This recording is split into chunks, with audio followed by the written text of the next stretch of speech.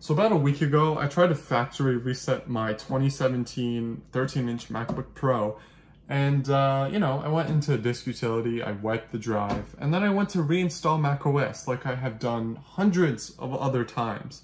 But this time, something was a little different. This time, I was encompassed with the dreaded the recovery server could not be contacted error. And yes, this is a screenshot of the actual error because I do have macOS installed on my Mac after I fixed the issue, and I'm not gonna wipe my hard drive and go through this again.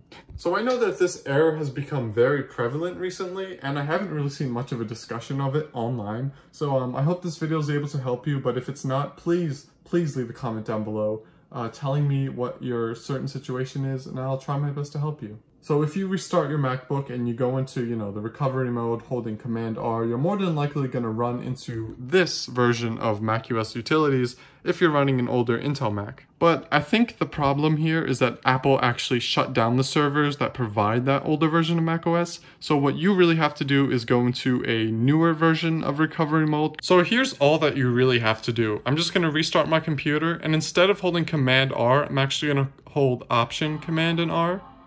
Did I do it quick enough? Let's see if I did. Yeah, I did. Okay. And this will bring you into the newer recovery mode uh, called Internet Recovery. And this will actually allow you to install a newer version of macOS onto your computer that actually has active servers that you can actually download from. So once I connect to the internet, it's going to take a second or two. Wow, this really is taking forever. All right, so there you go. Um, so now you should be greeted to a newer looking interface. Oh, if it only focused. So when your computer finally boots up, you're going to be greeted to this newer looking version of recovery mode. And all you really have to do is just click reinstall Ventura. Well, continue. And then um, when you click continue from here, it should actually work. And you shouldn't be faced with that error anymore. But if you are still getting that error, don't panic yet. Let's just try a couple things and let's see what happens. Now, the first thing you could do is make sure you're connected to the internet.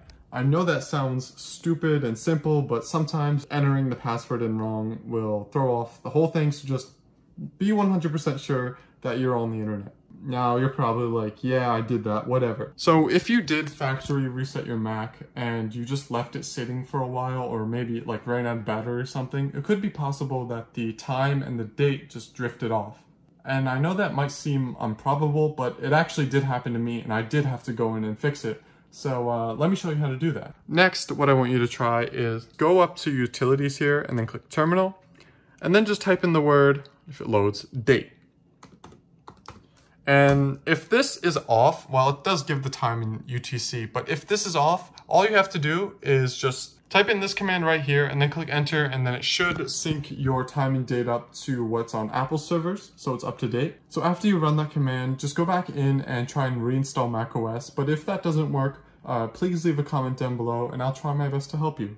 So if this tutorial helped you, please leave a like and possibly subscribe down below.